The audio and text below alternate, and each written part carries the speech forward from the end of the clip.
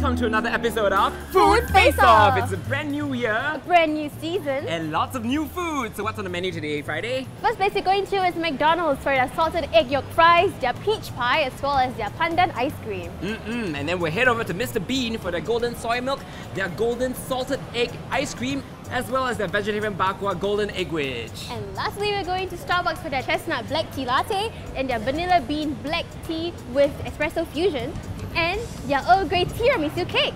Mm-mm. All sounds very, very yummy. Is it good for our tummy? Only one way to find out. Yes. Let's go! Go!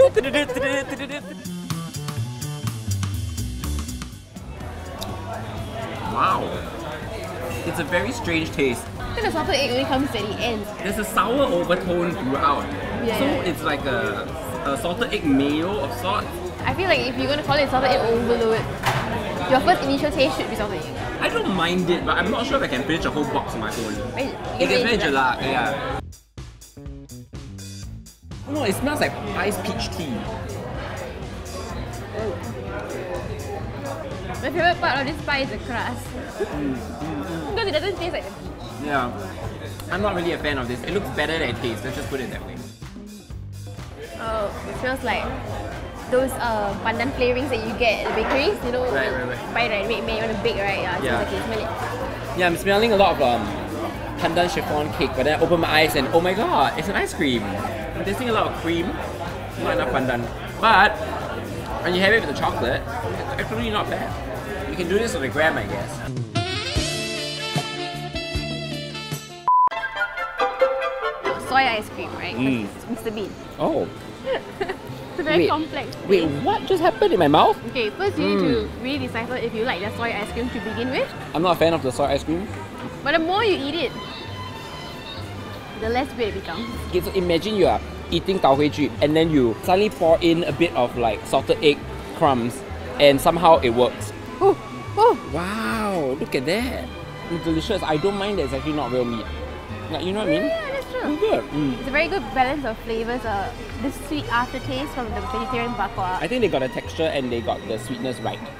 Yeah, and I don't blame them if it doesn't taste like the actual For meat. sure, yeah, Uh, I think you can never recreate, For you sure. know, actual bak kwa if it's vegetarian. So besides the traditional soy milk that we all love, it comes with brown sugar this time and aiyu jelly. How about you shake it? Ooh. Mm. Okay, I've tried brown sugar drinks before and I like it. I like it better than usual sugar. Brown sugar is always better. I don't know for some reason. Honestly, I haven't tried soy milk in so long, and I forgot how much I enjoy it. Uh, you give me the sweetness from the jelly and the brown sugar, it just complements it so well, and it's not too sweet. Your ice proportion is not too much. So it means the drink won't be watered down, Mm. which is great. Very good. Very good. What are these bits on top there? They look very red and festive and The ch- uh, candied chestnut bits and strawberry bits is on top. It smells funky. why, why, why you think make your face making me scared? Why your face like that? Do you taste the chestnut? That's the thing. Um, it's called the chestnut tea latte. I can taste a lot of milk. I don't taste enough tea. What I enjoy the most is actually the candied chestnuts and the strawberry bits on top. Mmm. Mmm. Okay, okay, I'm kind of I'm interested now. No, you don't like it. You can really taste the coffee in there. You can definitely taste the espresso. Again, the tea could be stronger. I do think though it's an acquired taste. If because Yeah. people when it comes to Starbucks, Mm. the number one thing Starbucks is known for is their cappuccinos. So you want something is very sweet. This is not the, it's not sweet. Yes. At least not at the beginning. Finally, we have the Earl Grey tea ramisu cake. To be honest, I am quite disappointed with this cake. The Earl Grey taste is very, very, very faint, and there's nothing about this that remotely reminds me of a tiramisu, except for maybe the mascarpone in the middle layers. Uh, Samjo, Mm. when you were in Rome, right? She's gonna be a pun. I see it, I hear it coming. When you were in Rome, Yeah. I tiramisu you. Oh my god! This is well, good job for the pun, but I know this is a complete lie because if you rewind to Food Face Off 14, you said. Guess who's back? Did you miss me? I didn't.